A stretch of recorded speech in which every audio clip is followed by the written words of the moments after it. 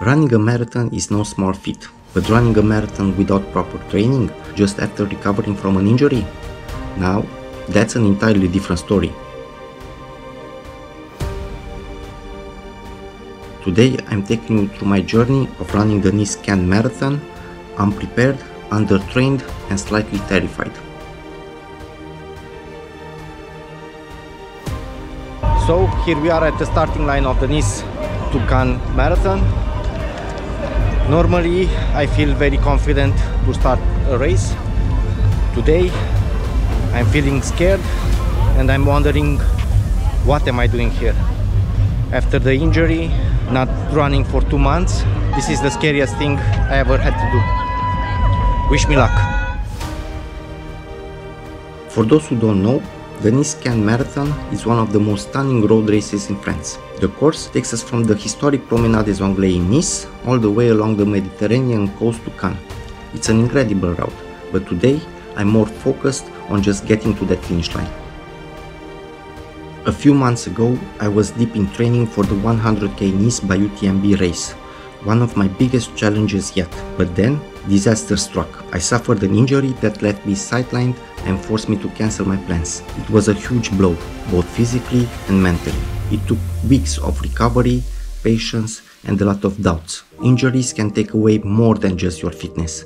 They test your resilience and patience in ways that go beyond the physical. And now, I'm here at the start line with no training under my belt. Am I ready for this? No. But am I doing it anyway? Absolutely. After the Prom Classic 10K in January, the Nice Half Marathon in April, we are back on the Promenade des Anglais for the marathon this time. The difference is that I'm not prepared for this marathon. I'm scared and I don't know if I'm going to finish.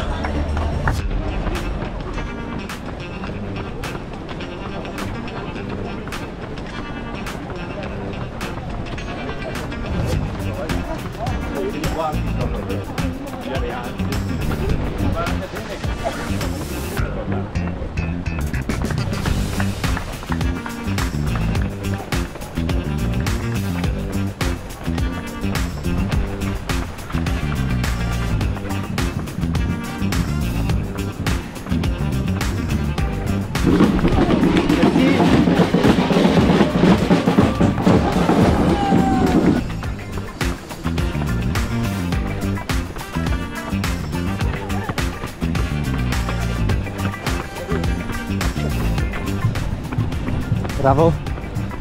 Bravo. This race is not about pace. It's not about personal best. It's about doing something that physically I'm not prepared for. And uh, arriving at the finish line against all odds. With barely any recent training, my goal isn't to set any records. It's simply to keep going to test my mental endurance and, hopefully, cross that finish line without injuring myself again.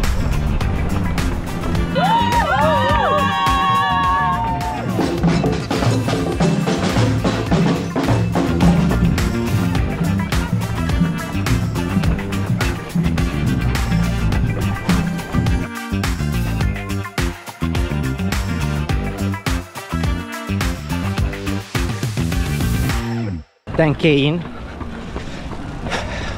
so far I feel good but I'm running purely on adrenaline and uh, positive energy that surrounds me. I know that the hard part will be coming up where I really have to dig deep to arrive at, at the finish line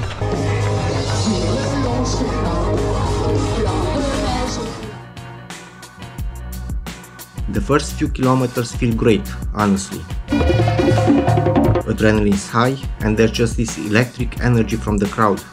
The first stretch here in Nice is flat and fast right along the coastline. You get to enjoy the blue sea, the morning breeze. It almost makes you forget you've got a marathon to run.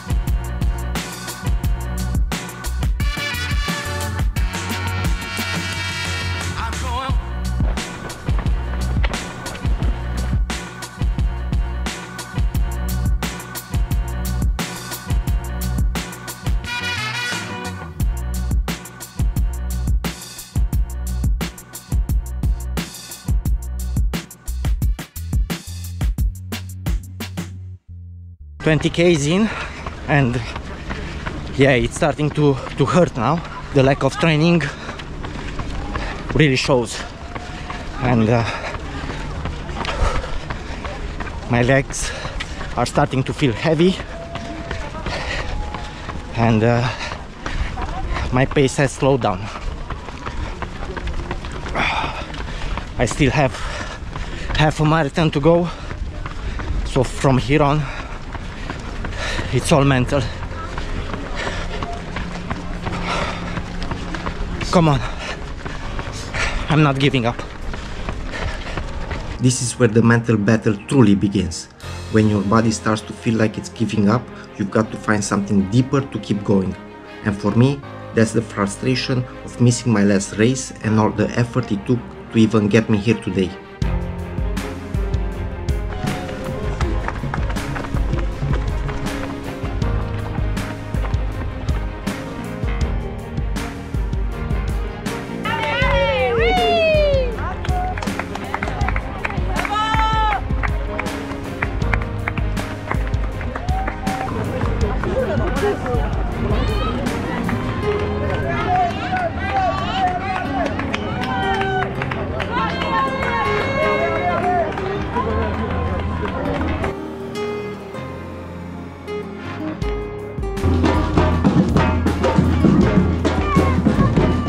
the most incredible parts of this marathon is the support.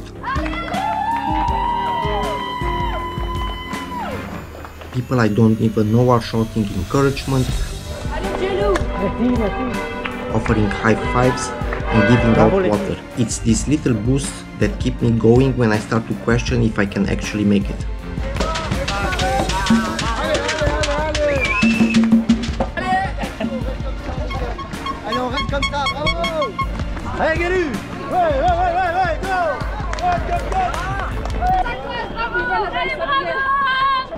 Without the people cheering us on, I couldn't do this. Cool.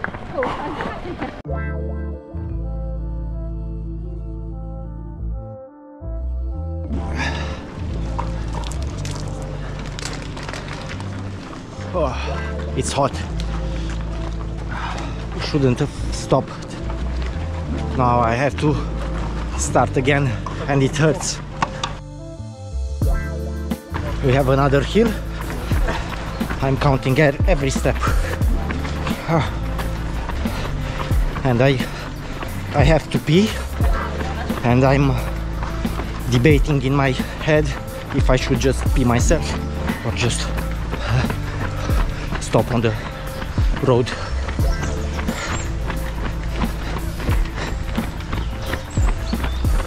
ah. I don't know what to do.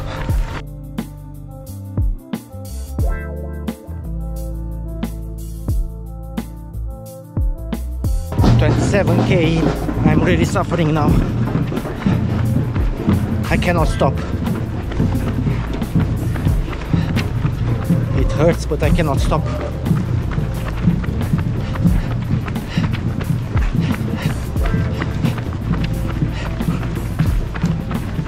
I need this.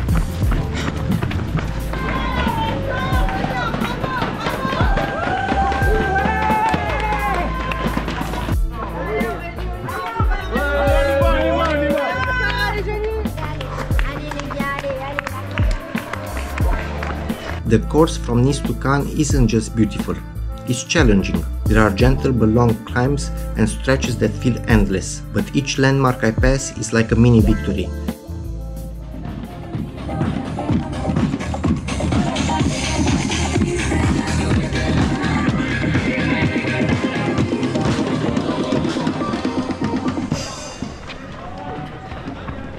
all this pain is worth it just for the views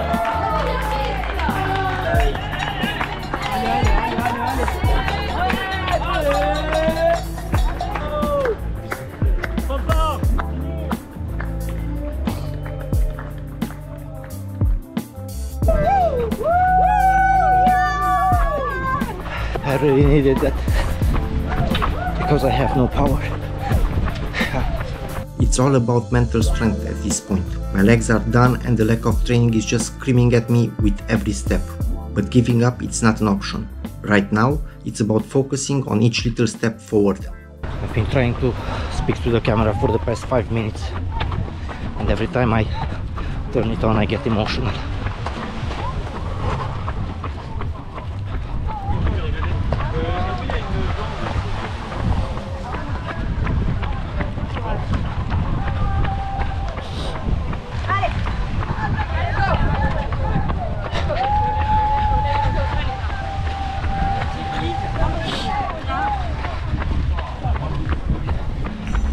Thirty-five k. My legs are done.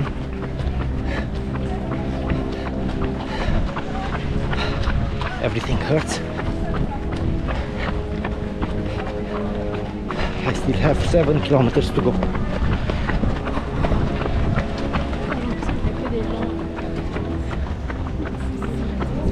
I'm not stopping.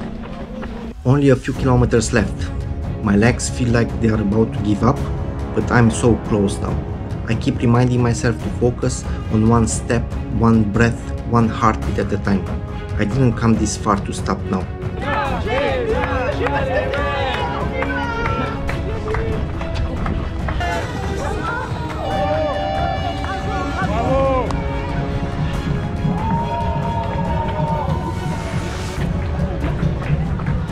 They don't know how much I needed that.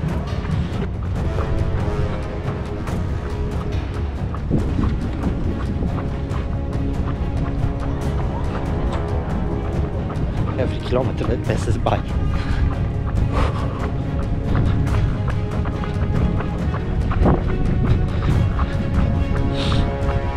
It's harder and harder.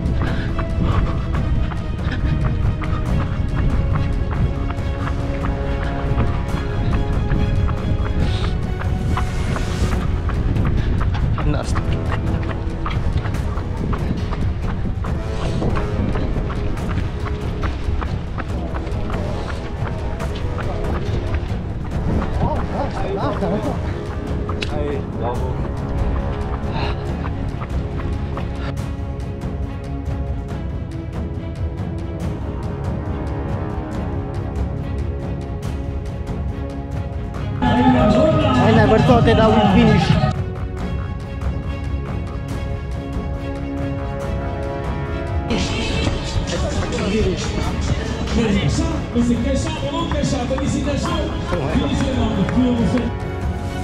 This was one of the hardest things I ever done, but crossing that finish line is just indescribable. This race wasn't just a marathon, it was a reminder of what it means to persevere, to keep going, even when you're not fully ready. So, what did I learn? Running a marathon without training and right after an injury might not be the best idea. In fact, I don't recommend it. But this experience showed me just how far you can push yourself even when things feel impossible. It's not just about physical preparation, it's about resilience, patience, and maybe just a little bit of crazy determination. Thank you for following along on this journey. If you're thinking about running a marathon, I highly recommend training properly and taking care of your body. If you ever find yourself facing a setback, remember, sometimes the biggest challenges bring out the best in us.